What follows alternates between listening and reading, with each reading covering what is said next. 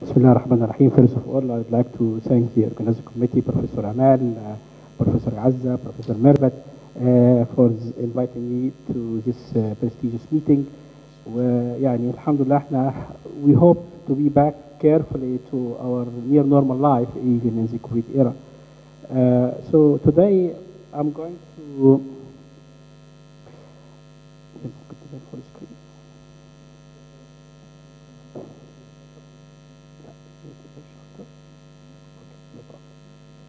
Uh, so uh, today I'm going to discuss uh, one of an Egyptian topics, uh, which uh, can we manage to have an expensive drug here in in countries with limited resources, in a rather with a rather an Egyptian way or Egyptian perspective. So the agenda for my topic today discussing expensive drugs in acute myeloid leukemia, especially in the seniors and those who are uh, deemed to have a very uh, poor outcome. Uh, so I'm going to discuss what is the topic we are going to discuss. The topic would be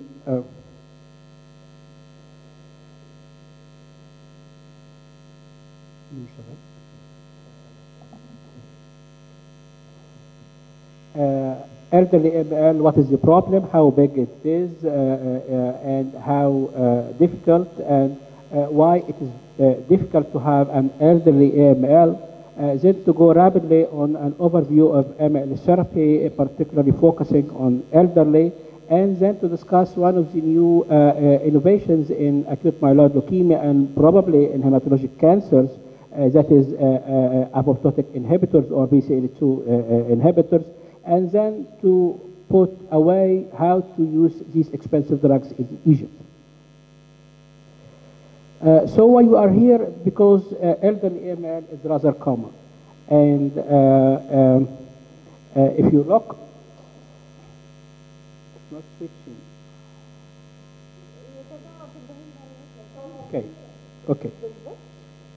So if you look for, uh, uh, for, for, for, for, this slide, you see that blood cancers would account on almost 10% of the global cancers, and uh, the uh, leukemias would account of almost one third of the uh, blood cancers. Again, acute myeloid leukemia would account for almost a quarter, and our topic today was elderly AML would account for almost 50% of uh, uh, this uh, AML. So what is the impact of age on AML? So by epidemiologic data, we have shown that uh, uh, almost half of uh, AML patients actually uh, have uh, uh, an age above uh, 65, and uh, always uh, uh, you have uh, this uh, patient uh, with a lot of comorbidities, either age-related uh, uh, or otherwise. Uh, you see uh, uh, on this uh, slide how uh, different is the outcome based on age. So on the upper curve, you see the outcome of ML patients who, is, who are uh, uh, uh, less than uh, 30, and uh, uh, on the lower uh, part of the curves, you see how bad is the uh, uh, outcome with uh, those who have uh, this disease uh, beyond the age of uh, uh, 65. So this is uh, uh, updated series data uh, uh, showing that uh, the difference in uh, ML outcome based on age. So in people less than 55, you see the survival of almost 50% of patients are probably cured uh, with their acute leukemia. However, if you go down to uh, uh, 50, uh, to in the range of just one decade uh, above, the curve would drop down to almost 30. And to the most common age group, above 65, you have the survival, the long-term survival of almost around only uh, 10%. And uh, in this slide, you see uh, how bad is the outcome of uh, uh, such patients. Not only this, but also even with the changes in, in, in medicine and hematology, the uh, improvement in the outcome in acute myeloid leukemia was actually uh, centered around improving the outcome of those uh, uh, young patients uh, less than uh, 60. However, if you look for the outcome uh, over uh, uh, uh, more than 30 years, the outcome uh, had it changed uh, uh, significantly despite the advances in, in medicine. So why is this? Is partly due to the aggressive biology uh, giving or resulting in poor response to therapy, and not only this, but our patient is also uh, having the problem of age-related uh, fertility that will result on a higher uh, uh, treatment-related mortality and morbidity. So you need to, to, to look for how, where is your patient in the uh, stage. So uh, going from the left side, from the very healthy person to the peripheral, the frail, and then to the uh, nursing care required patient. So the balance of uh, efficacy and toxicity would be very critical. So intensity is important because this is your weapon against the blood cancer, and uh, uh, intensity again is a problem because associated with toxicity in this uh, uh, age group. So in, in, in elderly patients above 60 or above 65, you might have your patient belonging to the uh, right pictures, very fit patients, even to, to be transplanted despite their age. However, you might have a patient who is rather looking fit. However, he has a lot of comorbidities, so the look alone and the age alone are uh, not enough. And you may be unlucky to find your ML patient to belonging to the uh, last picture. So how to predict the outcome and the treatment toxicity? Uh, uh, one way is to look for uh, the magic ball.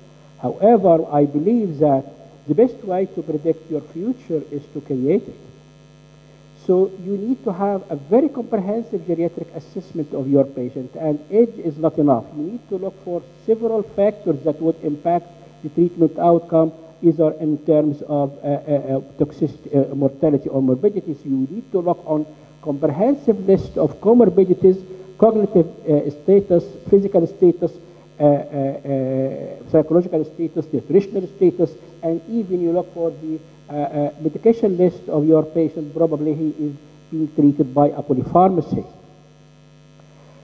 So, uh, uh, this, uh, ladies and gentlemen, this is an, a very important study published almost three years ago.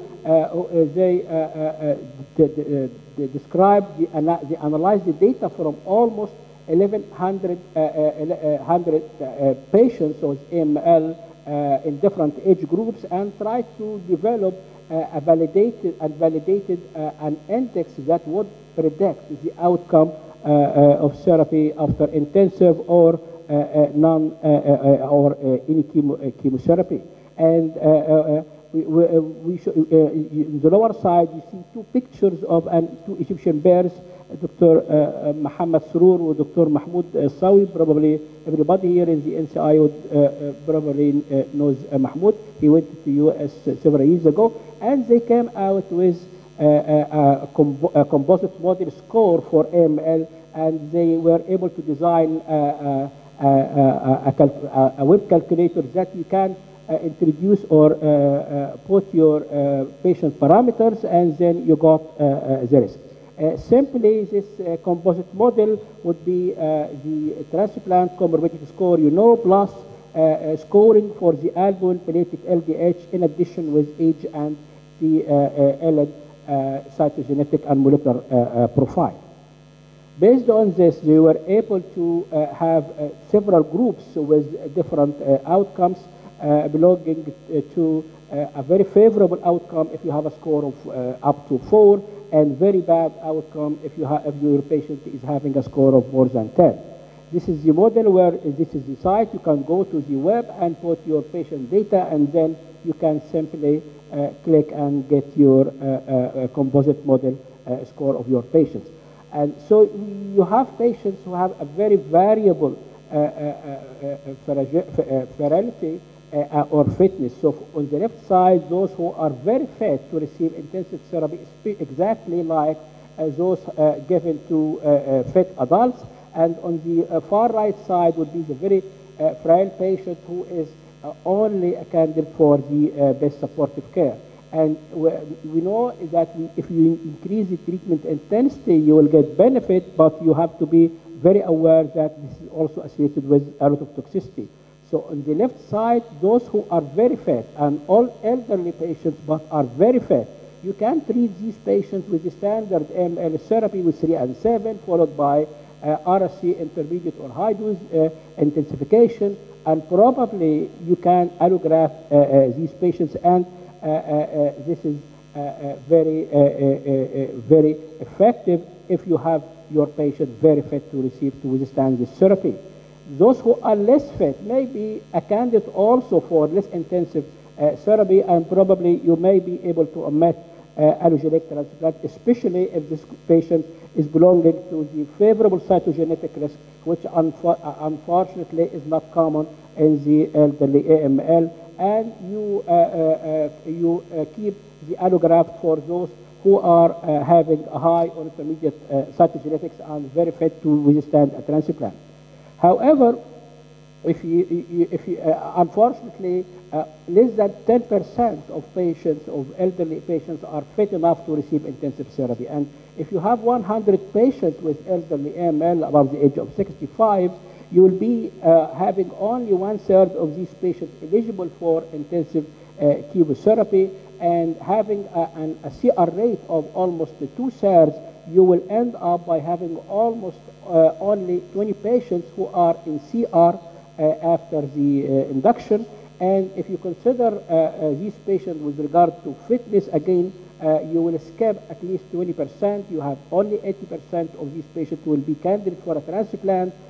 So you will end up by having almost 15 patients. And actually, those who will manage to, to, to have the transplant will be less than 10.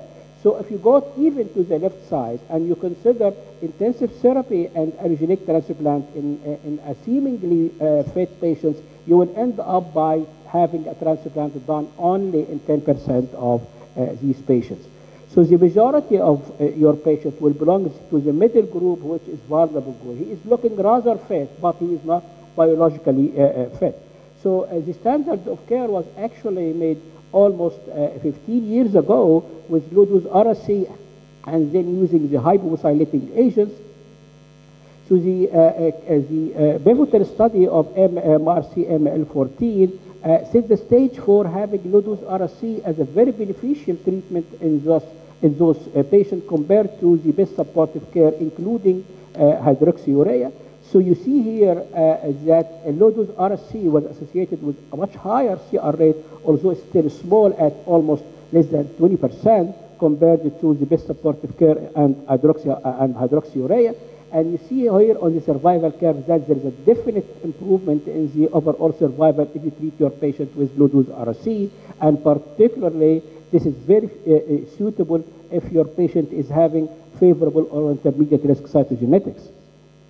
So uh, that's why we at our institution, we adopted the uh, uh, policy of giving low-dose Ara-C to almost most of patients with elderly AML. Uh, however, uh, a newcomer uh, almost uh, 10 years ago with the hypomethylating agents in acute myeloid leukemia. So the rationale for using hypomethylating agents was based on the cancer and the epigenetic and the epigenetic phenomena. So you see that cancer cell is usually associated with a global hypomethylation, and hypomethylation involving oncogenes will be associated uh, with uh, increased proliferation and uh, uh, tumor cell growth. And not only this, but also there is a spotty or regional hypermethylation, uh, unfortunately attacking the tumor suppressor genes, and this would be associated with hypofunction or suppression of uh, tumor suppressor genes and failure of apoptosis. So you have increased proliferation and decreased apoptosis. So what the hypomethylating agents were actually doing is to stimulate such uh, tumor suppressor genes, and the uh, prototype was azacitidine in the AZA-ML001 study, published almost uh, five years ago. It was a large study of almost 500 patients, a, a randomized study comparing uh, azacitidine versus the best supportive care or the treatment of choice. And you can see here that there was a survival benefit in terms of the group receiving uh, azacitidine. And the conclusion of this big study was actually that azacitidine increased the median overall survival by almost uh, uh, four uh, months, and it was uh, reasonably safe. And based on this, the drug got FDA approval for treatment of elderly uh, uh, uh, AML. However, if you look ladies and gentlemen, to this curve, it seems that the upper line, the upper curve would be significantly better with improved, with improved overall survival compared to the lower line. And on, if you look to the right side, you see both curves are almost superimposed and there is no benefit uh, uh, in terms of either drug. So on the left side, you see a survival benefit of the, uh, of the, uh, uh, of the upper line, and on the right side, you, saw, you can see clearly there is no survival benefit. And unfortunately, this study, this is one curve. Just you looked early or you looked late. So this is the same study with, which was associated with approval of uh, uh, azacitidine, and you see that with just longer follow-up, one year follow-up, you see that the response and benefit uh, vanished uh, whether you give azacitidine or not. And uh, I'm always saying that you live better by looking longer to survival curve.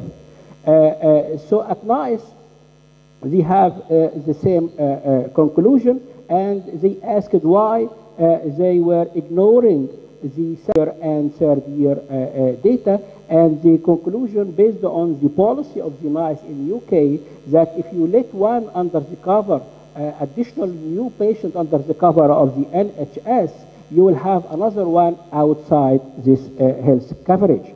So the conclusion of the uh, NICE in UK is that uh, no to azacitidine, and that's why we also said no to azacitidine in uh, AML. The same holds true for the similar drug, decitabine. You see here that with just longer follow-up, the two curves are superimposing.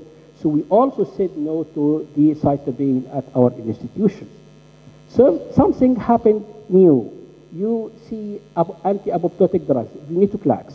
So what is happening is that you just promote apoptosis by block, blocking the BCL2 by uh, this uh, magic drug. And this is the simple balance in the tissue homeostasis between the birth rate and uh, death rate, and there should be a balance to have a normal uh, uh, uh, tissue. So if you have an increased birth rate or decreased death rate, you tip the balance towards tissue growth or tumor growth. On the other hand, if you have a decrease in the birth rate by chemotherapy or something else, or promoting the death rate by any medication, now you can tip the balance toward atrophy of the tumor or tumor regression. So the normal homeostasis is that you keep the apoptosis, which is a, a natural cell suicidal uh, machinery. If you have an irreparable cell injury, you have uh, uh, proteins responsible for triggering this suicidal process, the BAX and BAK and others. But these actually are kept away from the mitochondria are by another anti-apoptotic proteins. you see on this slide few but major of them, BCL2, MCL1, and BCLXL. So these anti-apoptotic proteins are actually sheltering or uh, uh, sequestering the effector apoptotic proteins away from uh, uh, the mitochondria. So what happens if you have a cell injury that is deemed to be irreparable? So the, the cell decide now to commit into a suicide. So with irreparable cell injury, you have increased in the pro-apoptotic proteins, BIM, BAD, PUMA, NOXA, and so many others. And what happens is that uh, these uh, pro-apoptotic proteins will sequester the anti-apoptotic proteins and clear and leave the uh, effector apoptotic proteins to uh, join the mitochondria, uh, release the cytochrome C and the caspases, and trigger uh, apoptosis of the cancer cells. So this uh, of the cell. So this, uh, what happens is that the cancer cell is actually protected from this by upregulating the uh, anti-apoptotic proteins. So the uh, cancer cell uh, would survive despite having a normal level of pro-apoptotic proteins. So uh, what venetoclax have done? Venetoclax is a BCL2 inhibitor that selectively will bind to BCL2. And in this way, it will keep it away from the effector apoptotic proteins and will leave them to, uh, to go to the mitochondria and induce cancer cell apoptosis. So venetoclax is a potent selective oral inhibitor uh, of anti-apoptotic uh, BCL2, It has a promising activity in so many blood cancers, from CLL to myeloma, including AML. And in vitro data that uh, shows that the efficacy will actually correlate between, because it's selective BCL2 inhibitor, whether the cell will depend on BCL2 or others, so the balance will depend, uh, will, will, will, will, will, will define whether your drug is active or not. And most importantly, it will selectively deplete and attack the leukemic, the not, the, not the normal stem cell. So potentially, this is a very stem cell, uh, uh, uh, normal stem cell sparing and anti-leukemic Uh, uh, stem cell uh, drug. So the biggest, the important study in almost in three, 32 patients with relapsed my, acute myeloid leukemia receiving immunotherapy with venetoclax, and you see that some CR rates and CRs with incomplete blood recovery. And interestingly, if your patient is having IDH1 or IDH2 mutation, the CR rate will rise into almost one third of patients. So venetoclax is important, but uh, uh, ladies and gentlemen, alone is not enough. So can we consider venetoclax combination? Yes. Why not to, to combine the hypomethylating agents or low-dose Ara-C plus the venetoclax? And why is this? This is simply because venetoclax is a selective inhibitor of BCL2, and the cell have so many machineries that will uh, block apoptosis, including MCL1, BCL, BCL-XL. So uh, uh, if you have venetoclax that will block BCL2, the cell might rely on other mechanisms, might rely on MCL1 or uh, other anti-apoptotic proteins that will induce resistance to uh, venetoclax. So what to do is to try to use conventional drugs that will block these other uh, two uh, anti-apoptotic proteins, including Ara-C and hypomethylating agents. They can, again, selectively attack the other uh, anti-apoptotic proteins. And this is a very important study uh, by, uh, uh, by Courtney DiNardo at the MD Anderson and others who showed that in phase one with dose escalation of venetoclax and uh, hypomethylating agents that the CR rate rose to almost uh, uh, 60%. So for the first time in our history to have a 60% with a simple medication in elderly acute myeloid leukemia. And even with longer follow-up, they were able to show, to show that the CR in, in most of the patients were uh, uh, sustainable and now you can see the curve in elderly ML rising to 30 to 40 percent uh, even with three to four year uh, uh, follow-up. So this is a really an advantage in the era of elderly ML therapy. As regard toxicity, definitely it has a toxicity with regard to uh, febrile neutropenia and some hematologic toxicity, but actually the main problem is financial toxicity, and I'll tell you why. And the other problem is to uh, resistance. So if you look for the financial toxicity based on uh, the, the, published studies, you need to give venetoclax daily, each day for uh, the whole month and until progression. And this means that you need to pay 130,000 Egyptian pounds each month. And each year, this is, you can calculate up to one and a half million. So can we afford this very magic drug? Yes or no? I will postpone this and discuss rapidly resistance. Why patients do resist this combination is because the cell uh, uh, uh, is able uh, uh, uh, Uh, uh, uh, to, to, to develop a resistance mechanism. That's why almost two-thirds of our patients would die, unfortunately, because of a disease. And you see on the left side, uh, if you have a leukemia that is sensitive to venetoclax and hypomethylating agent combination, then with time, in many cases, you have upregulation of MCL1, you have an uh, acquiring FLT, uh, FLT3 uh, ITD in, inhibitors, uh, TP53 uh, mutations, so several mechanisms would uh, cause the disease to, to come back, and we need to target these drugs uh, uh, upfront by adding something to this combination, including what we have, uh, FLT3 inhibitors, and we have practically here sorafenib on the market. Even if you have a, a targetable drug at the time of relapse, w- for example, with FLT3 inhibitors, again, you may get remission, but again, you may have uh, uh, relapse. So you need to have more and more investigational lines of therapy to uh, circumvent uh, this possibility of relapse in elderly uh, uh, men. Uh, back to affordability, can we afford this uh, very important drug? Yes or no? Anybody can say yes?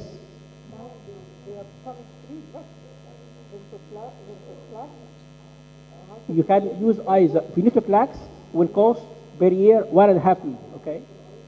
Uh, uh, uh, uh, uh, Vidaza or azacitidine will cost 20,000 per month. But you can omit it and use Ara-C, which is very cheap. So let us focus on venetoclax. Can we afford one and a half million per year? Okay, we'll see. We can. Yes. So can we afford this? Any biology help? Yes. Interventional pharmacoeconomics. This is a new, uh, rather new term. Interventional pharmacoeconomics. Can you use uh, uh, uh, drug interaction in an economic way or not? So, and gentlemen, venetoclax is catabolized and destroyed by cytochrome B3A4. And this is the main mechanism of clearance of this drug. So it accounts for almost 80% of the clearance of the drug. So what if, and this is forbidden by, by, by the way, by the company to combine uh, uh, uh, cytochrome B3 A4 inhibitors concomitantly with venetoclax. But what if you do it? You can block this enzyme. And in this case, you can increase the Cmax and AUC by almost four folds, which means that you can decrease the dose by, by uh, uh, four times. So look what uh, uh, was not focusing on. I'm not saying was hiding. Because the study had a sub-study, there is another group, group A, B, and C. The data of group C were not clearly published. They were looking for what if they gave a strong uh, cytochrome B3A inhibitor, posaconazole, which, by the way, you need it to treat fungal infection in these patients, concomitant with much lower doses of venetoclax, 50 to 100, fourfold lower than the standard. Look for the PK uh, uh, data of this study.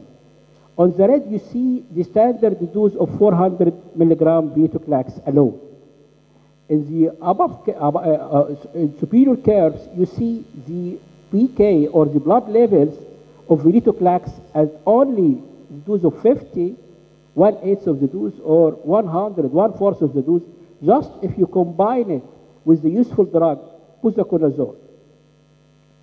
So what she was hiding is this curve, this column. So if you look for group C, which actually were only 12 patients, the CR at a dose of using dose of venetoclax of 50 to 100, less than one quarter, was 67%. So it was almost the same. So if you had, if you add voriconazole or posaconazole, you can use only one fourth of the standard dose and get the same results. You cut the dose by four, and you cut the, the cost by four. So just using voriconazole, which is affordable and cheap, you can have dose lowered by 75% and the cost get down to a quarter. What else? This is if you gave it with uh, azacitidine or Ara-C. What if you can combine it in some healthy elderly patients with a more intensive therapy 3 and 7 and VEN, 2 and 5 and VEN, FLAG IDA and VEN. This is a big study. This is a very important study, the caveat study, chemotherapy and venetoclax in elderly AML trial. And uh, it's a, a multi-center Australian study in almost 50, 50 patients, more than 65. What they were doing, they were rather fit. They were using uh, pre-therapy, just one week of venetoclax, and then uh, rather intensive or standard uh, uh, induction, ML induction of 2 and 5. It's not bad uh, combination to use in a, a rather healthy elderly patients. What they had, this is the demographics. You see the CR rate on patient with de novo uh, AML is almost 100%. The CR itself is uh, 60% and CR with incomplete blood count recovery more than 30%. So in these patients uh, who are just fit for 2 and 5, you can reach up to C, uh, 100% of CR and CRI. So uh, uh, uh, this is dose dependent? No, it's not dose dependent. So you can go down even because it was a phase 1B dose escalation study, so you have several dose levels of venetoclax.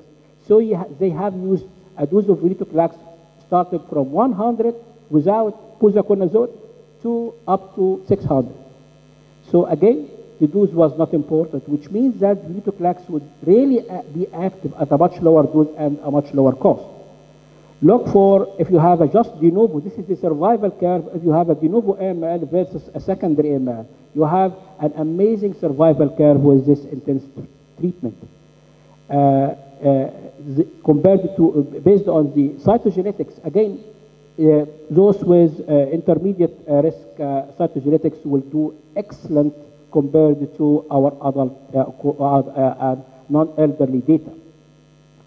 Mutation would have would affect yes that's why genomics will continue to be important that some patients with certain mutations will be very sensitive to this uh, uh, combination this is not the only studies several studies are actually uh, ongoing including this one from Dana-Farber uh, venetoclax, daunorubicin, and cytarabine, and just this morning I heard about the publication of the results of this study that's going to be presented in the uh, coming ASH with amazing uh, results.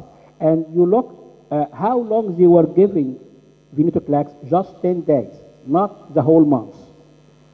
Similar uh, studies are ongoing at MD Anderson with FLAG and FLAG uh, IDA, again, with, one, uh, with just two weeks of venetoclax. So uh, actually, we started uh, this uh, Uh, program almost one year in our institution at uh, uh Maadi. So uh, almost since one year, we are combining venetoclax plus something, either based on the affordability, either Ara-C or uh, azacitidine plus voriconazole, and this is our regimen for the relapsed refractory AML in fit patients less than 60 and this is our regimen for those who are vulnerable and above uh, the age of 60. So uh, uh, uh, after this, you can see clearly that just adding voriconazole will go with the dose level and the cost to one-fourth, and giving it uh, for only 10 days will again reduce the cost by additional three times, which means as on the day, one box that cost 120,000 will be enough for 12 patients, which means the monthly cost per patient will go down only to 10,000 uh, uh, per, per month per, per, per, patient and you have a limited duration of therapy because probably you are giving you are going to give four to uh, uh, six cycles and i'm going to tell you something that the, the, pricing the new pricing of this drug went down here in egypt not uh, from 120,000 to 80,000 which means that the monthly cost will be again only six or 7,000 per cycle. So if you look towards this curve again, whether these options are affordable, yes, including the venetoclax uh, uh, combination. So my take-home message actually is that we can use pharmaco interventional pharmacoeconomics, for example, in this example. You can add for patients who have FLT3 inhibitors, uh, sorafenib, and we have uh, this, our, this is our protocol for unfit uh, uh, patients. And I'll finish here and thank you very much. Thank you very much, Dr. Mohamed, for this very interesting